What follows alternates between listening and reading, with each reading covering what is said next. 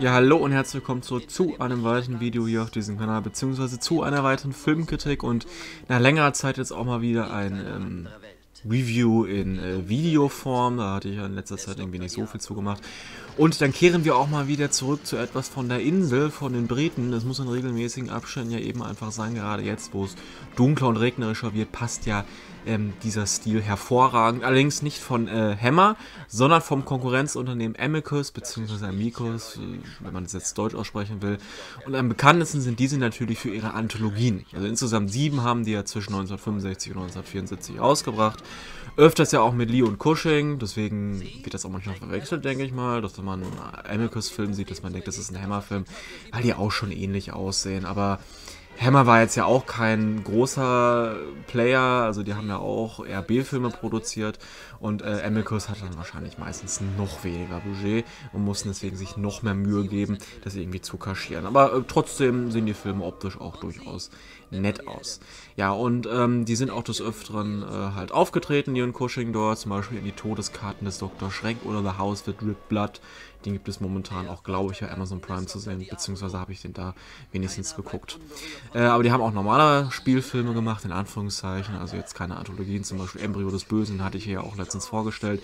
Und ich äh, glaube auch, dass das der einzige Amicus-Film war, den ich hier bis jetzt äh, reviewed habe. So, diesmal habe ich mir dann aber auch endlich eine der Anfolgen vorgenommen, beziehungsweise habe ich inzwischen bis auf eine auch alle gesehen, aber ich reviewe sie hier zum allerersten Mal. Dann ausgesucht habe ich mir den zweiten, äh, die zweite Anthologie, die sie rausgebracht haben, nämlich Torture Garden von 1967, auf Deutsch mit dem tollen Titel Der Foltergarten des Dr. Diabolo.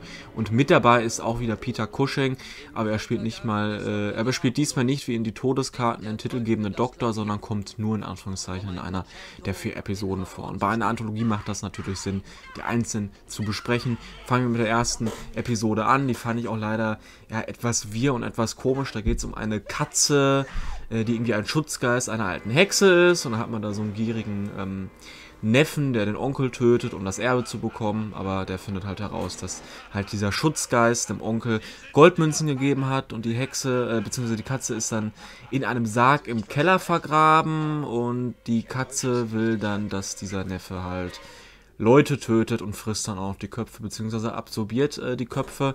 Ähm, ja, das ist ein bisschen wir gewesen. Das hätte man auch besser als Langfilm meiner Meinung nach umsetzen können, weil das geht jetzt so 20 Minuten, dann wirkt das alles etwas gehetzt, hätte man sich mehr Zeit nehmen sollen. Naja, ja, da haben wir auch noch die zweite Episode. Das geht so ein bisschen mehr in Richtung Science Fiction.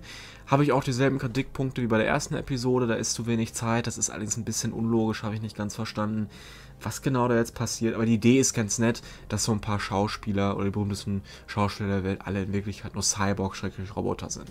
Dann haben wir Episode Nummer 3. Das ist ziemlich absurd und komisch und auch ein bisschen unfreiwillig komisch, muss man zugeben. Da geht es um ein lebendes Klavier, ähm, das ein bisschen aggressiv wird. Äh, aber gut, das ist eben das Gute an Anthologien. Da kann man halt auch Ideen, die man sonst als Spielfilm nicht umsetzen würde, einfach mal äh, ausprobieren. Und dann die vierte Episode, das ist wohl die beste. Da haben wir nämlich Jack Palance und Peter Cushing in einer ähm, Po-Kurzgeschichte, sehr, sehr atmosphärisch umgesetzt mit so einem ähm, britischem Herrenhaus. Ja, da, da kommt nochmal schön diese bisschen Gothic-Atmosphäre auf. Und dann im Keller ähm, Poes Peter Cushing ist natürlich großartig, wenn er hier so eine Gruselgeschichte zum Besten geben kann. Ja, und das war auch noch äh, eine Story von Robert von Robert Bloch und der hat ja auch das Drehbuch geschrieben, kennt man natürlich als Psycho-Drehbuchautor, der hat ja bei Amicus des Öfteren Drehbücher geschrieben. Also insgesamt eine durchaus unterhaltsame Kurzgeschichtensammlung. Er hat jetzt die ersten zwei Episoden haben ganz nette Ideen, aber sind in der Umsetzung jetzt vielleicht nicht optimal. Das dritte, ja, das ist ein bisschen absurd, aber auch ganz nett. Und äh, die vierte Episode ist mit Peter Cushing und Jack Palance dann doch durchaus gut geworden. Also es ist kein Kunstwerk für die Ewigkeit, aber nette, sanfte Gruselunterhaltung von früher, die der Fan sich durchaus mal anschauen kann.